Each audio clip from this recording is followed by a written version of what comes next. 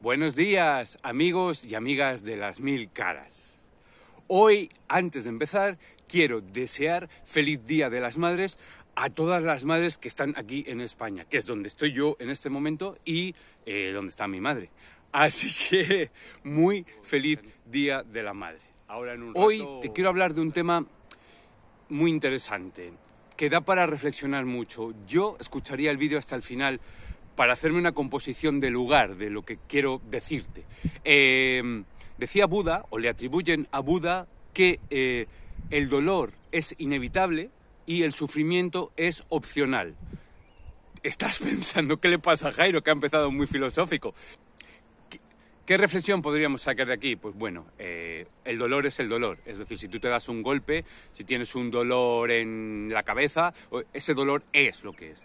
Si cae un rayo en tu casa eh, y la casa se destroza, eso es inevitable. Eh, ¿Qué puedes hacer con eso? Eso es opcional. Eso sí que puedes tomar decisiones en cómo aceptarlo, en cómo buscar la vida. Y sí, que a veces sentimos que el mundo se nos acaba, que ay, ay, esto, mi vida es una mierda, todas esas cosas, eso es normal y humano. Pero el sufrimiento es opcional. ¿Esto qué quiere decir? Pues que cuando te pasa algo, lo que sea, en tu vida, lo que sea, hay gente que es capaz de eh, decidir no sufrir demasiado, incluso con cosas que tú dirías qué locura, ¿no? Fallecimiento, un familiar, cosas así. Puede de que esto que estoy hablando hoy estés diciendo, se enloqueció, este se ha vuelto loco, este tío, ¿qué está diciendo? Sí, mira todo lo que me pasa. Lo sé, lo sé.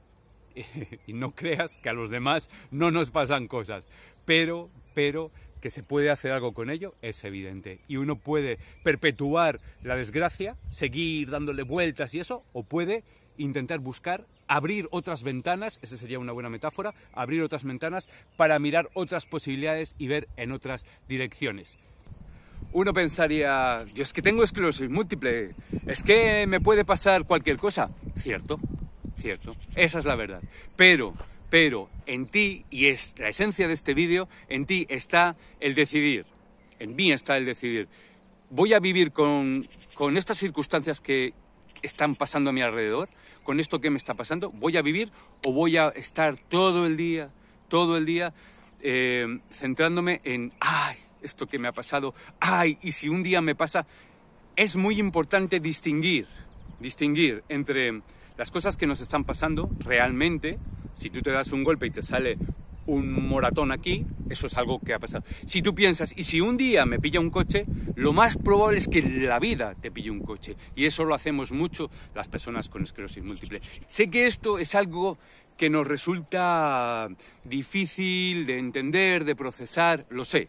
Pero, pero, si tú te fijas a tu alrededor, hay muchas personas que en una situación similar eh, la enfocan de una forma completamente diferente. Hay gente, y es un ejemplo que a mí me encanta, hay gente que llega a mayor, que llega a mayor, me refiero 75, 85 años, y le ves pleno, feliz, eh, y a lo mejor está en unas circunstancias económicas y demás muy regulares.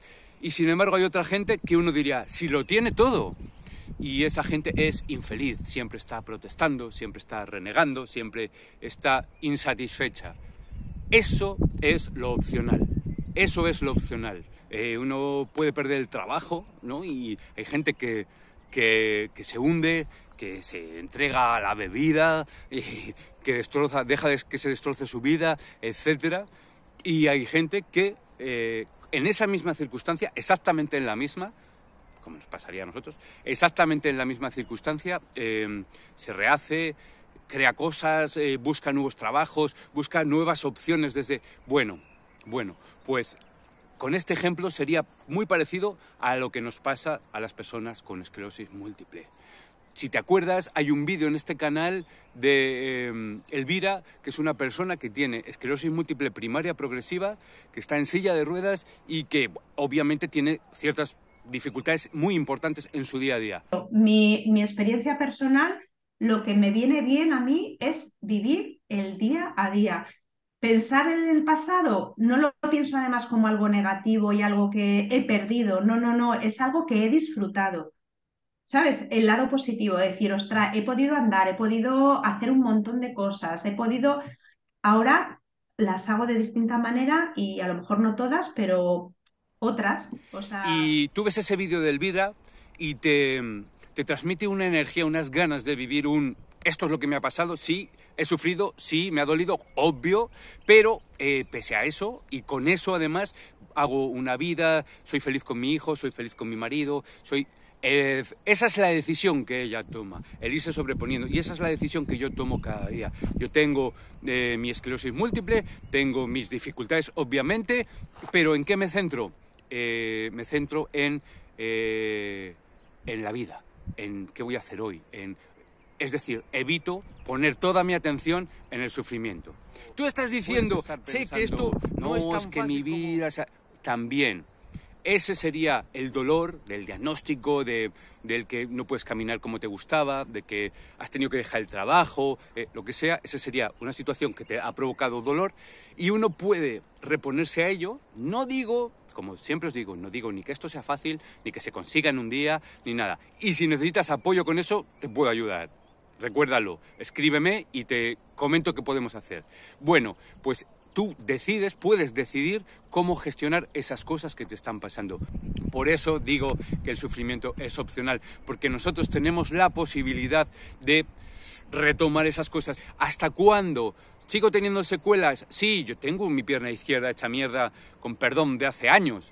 Eh, ¿Y qué? ¿Me fijo? No, busco otras formas, ¿no? Entonces, el dolor cuando yo fui consciente de lo que estaba pasando en mi pierna, eso me produjo un dolor.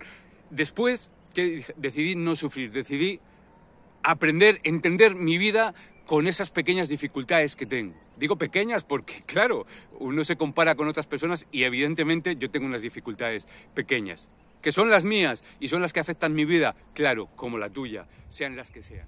Ya sé, evidentemente, que esto que digo no es fácil y que muchas veces... Eh, nos suena como, ah, ¿este de qué está hablando?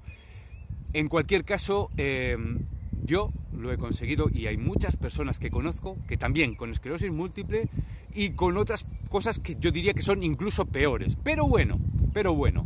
Y ya para terminar, eh, muchas, muchas gracias por estar ahí.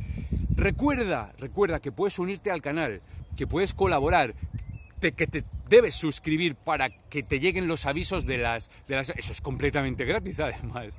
Y lo puedes compartir, puedes hacer lo que quieras. Y recuerda que tenemos en marcha el proyecto Iron Brand para investigar especialmente las formas progresivas de la esclerosis múltiple, para seguir abriendo ventanas para las personas que tenemos un diagnóstico de esclerosis múltiple eh, progresiva, eh, para seguir abriendo ventanas y posibilidades de investigación.